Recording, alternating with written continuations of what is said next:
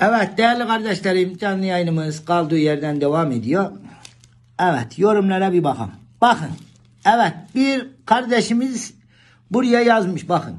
Hocam yılbaşına piyango bileti aldım. Memleketin ayarlarıyla oynayacaksın. Şimdi bak. Beni etmeyin ya. Ya ben, ben kime anlatıyorum abi ya? Arkadaşlar dinimizde her türlü şans oyunu haramdı. Bitti. Bitti. Hem piyangonun bakın üstünde şifresi ya. Ya sen bunu anlamayacak kadar saf mısın ya? Bak pi. Pi kaç? Üç. Yan. Ne diyor Ankaralılar? Yan cehennem yan.